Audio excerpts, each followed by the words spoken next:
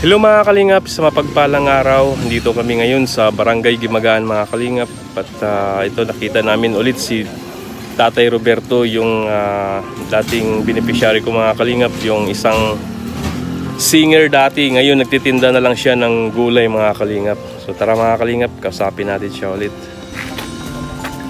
Kuha ko doon sa mangingisda. Ninalako rin. Diyan po sa gulayan ni Sir. Ah, may coming pa! Oh tay, saan punta mo? Ayan na. Ah...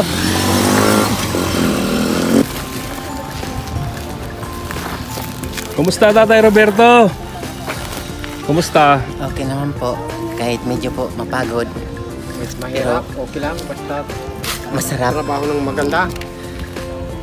So yun mga kalingap, ito po yung dati kong beneficiary si Tatay Roberto nakatira doon sa unahan. Ah, party pa rin siya ng ano, Barangay Gimagaan. Ito yung ah, dating singer, ngayon mga kalingap, ah, nagtitinda na lang siya ng gulay. Patingin nga ng gulay mo tay. Baka magustuhan namin yan at ah, mabili namin yan lahat.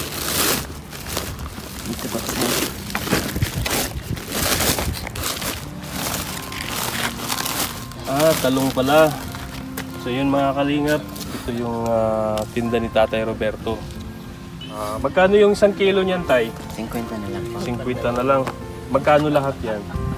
Siguro po. Mayroon pong mga 10 kilo.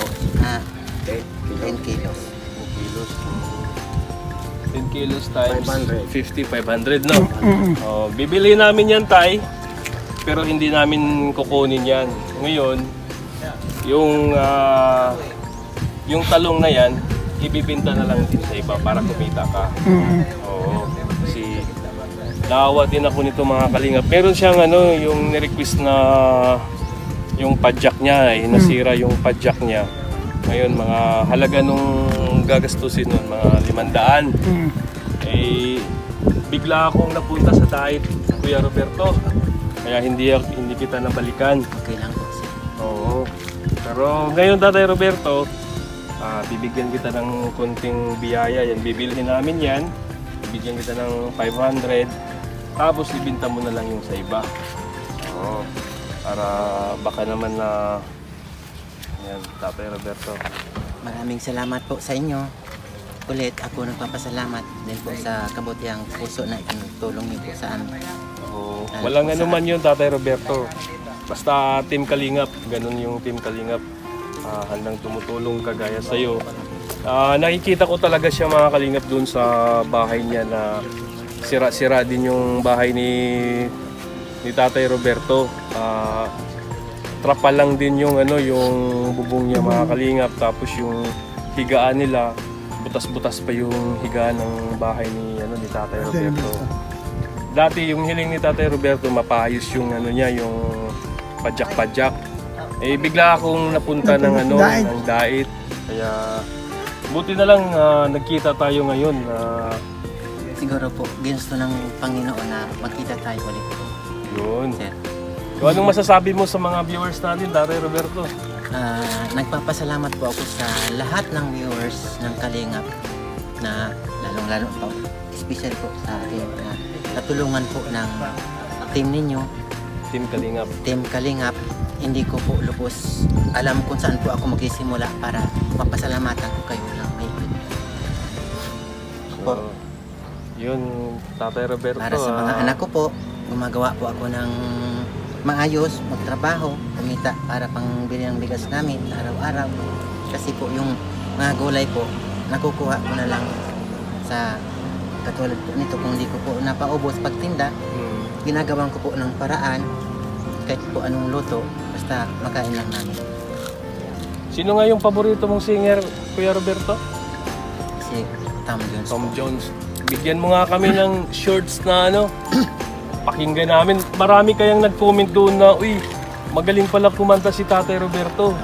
Kaya sampulan.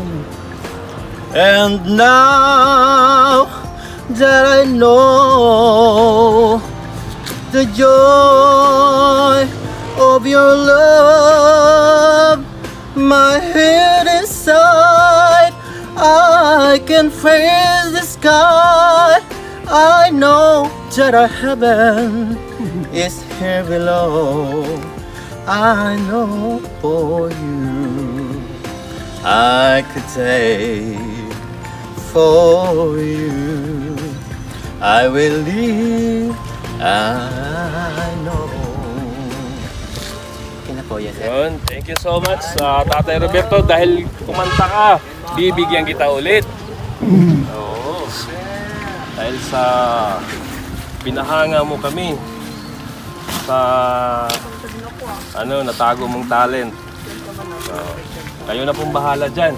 Po, sir. Salamat So, po. marami ka ng pambili ng bigas, Oo, Kuya Roberto, dapat Tatay dami Roberto.